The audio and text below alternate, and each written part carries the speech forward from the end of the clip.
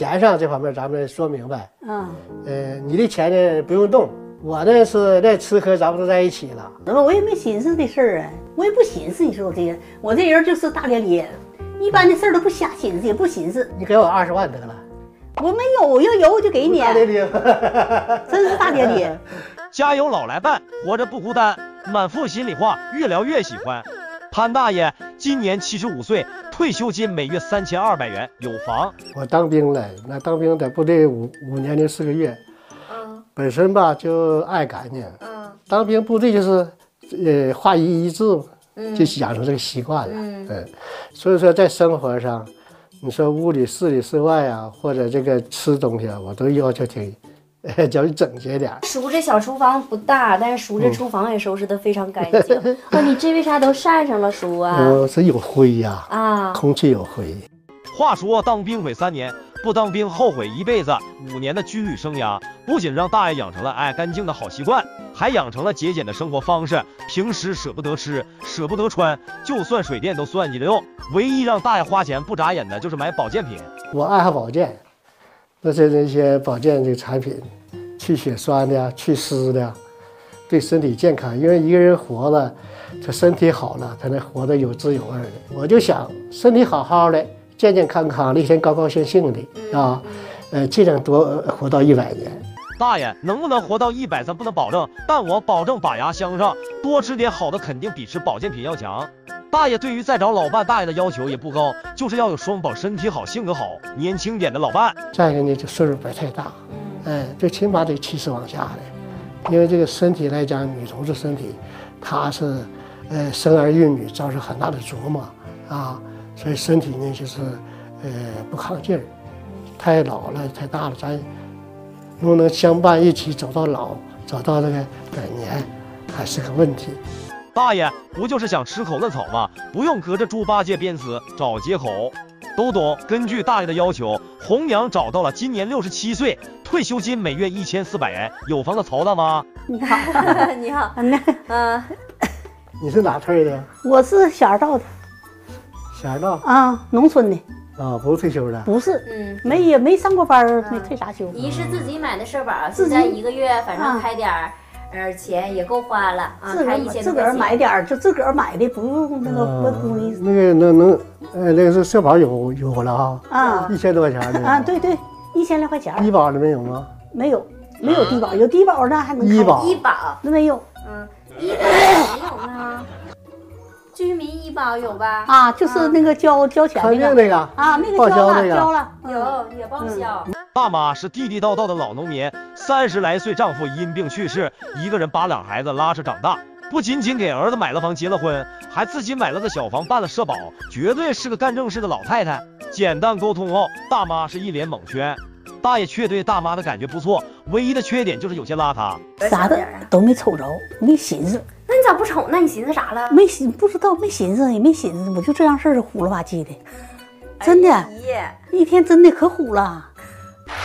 第一个性格就是这个，可能累啊，也不愿意收拾，可能是。啊，你觉得他这屋子收拾的不太利索？嗯，姨是那种大大咧咧的性格，就是啥吧，说我这事儿不抠的太细，完了，但是虽然说这个屋子看起来没有你那么板正，但是他有一点好，啥事儿他也不往心里去，他计较的也少。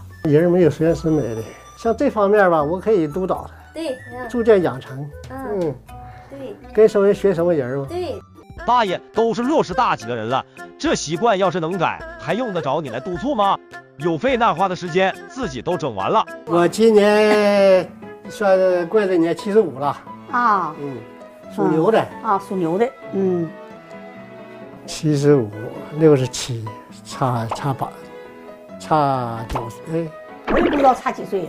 哎呀，我家老头儿死那老头儿，他比我也比我大不少，大好像我都没不寻思大不大多些，啊不寻思，都那事儿都不寻思。啊，嗯就这人儿合适了就行，这样大小能咋的哈姨嗯啊？这回细看看书没？细看了，嗯，怎么样？还行，啊，细看了也还是挺满意，是不是？行，嗯，啊，通过了解，大妈各方面条件除了不太爱干净，条条都挺符合大爷的择偶标准。于是竹筒子倒豆腐，直说了：“妹子，你我相中了。我也挺瞅着也挺满意的。你瞅着也挺满意啊，长得不磕碜是吧？不磕碜，这不是磕碜好看哈。这个事儿吧，你说咋的？岁数大了不用寻思那个，你说咋的？脑袋好使，我就喜欢人脑袋好使。你觉得鼠脑袋好使？嗯，姨，你咋看出来鼠脑袋好使的？你这说话嘛，说话唠嗑呢，这脑袋就好使，他脑袋好使，说话一套套的，挺让人瞅着挺崇拜的。张爱玲曾经说过：“女人要崇拜才快乐，男人要被崇拜才快乐。”看来大爷大妈离快乐生活不远了。但是快乐之前，老头表示要先把经济问题给说明白。钱上这方面咱们说明白。嗯，呃，你的钱呢不用动，我那是在吃喝咱们都在一起了。那我也没寻思这事儿啊，我也不寻思。你说我这人，我这人就是大咧咧，一般的事儿都不瞎寻思，也不寻思。你给我二十万得了。我没有，要有我就给你。大咧咧，真是大咧咧，挺 有担当的，我都没寻思。你说啊，你都没寻思到这儿，属寻思到这儿了，是不是？这三十多年了也没接触过这事儿，一下子有点懵，是不是？嗯呐，发懵，不知道。他这人呢，就是单纯，嗯不像那个其他的事儿贼多。嗯嗯不图钱，我不图钱，啊，我就寻思你这哪管咱能能过去，能活也，能吃饭的就行。看来这回大爷算是捡到宝了，不仅年轻有劳保，关键还不图钱。钱的问题谈妥后，大姨又提到了一个关键问题：将来咱俩成了呢是，呃，是登记呀，还是不登记？这是跟你提出这一个问题。啊，那你这登那登不登啊？那你说，那我不知道你咋想的。哎呀，我都我都寻思你咋愿意登就登，反正不登就不登，我也不我也不管呢。哎呀，这有很大的关系。